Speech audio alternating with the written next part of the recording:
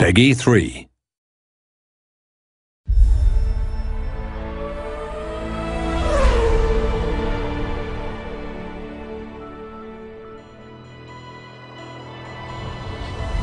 Welcome to the fourth developer diary for F1 2011.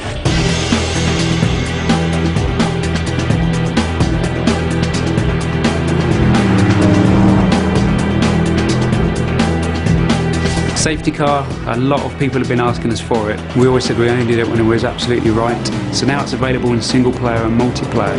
It's really the uh, the wild card in the pack. Maybe you're out in front, maybe you think you've got a solid podium position, maybe you think you're at the points and there's no chance, and all of a sudden this, this key event comes in, it's all fully playable. Can you dive into the pits and, and, and get a lap advantage on everyone else? You have to keep the distance to the car in front of you and the car behind.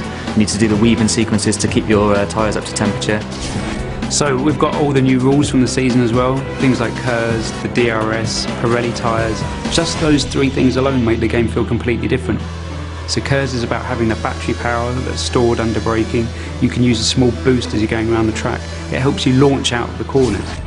DRS is about stalling that rear wing, changing the drag value on the back so that you can travel at a higher speed. You're really using this predominantly in races and overtaking tactic. Pirelli tyres we're mentioning because it's making such a huge difference to the racing this year. The degradation is really interesting. Last year when you were in a qualifying session you could go out and just keep putting in lap after lap until the tyres completely wore out. This time around you get two or three really good laps out of them and then they kind of flatline before dropping off a cliff.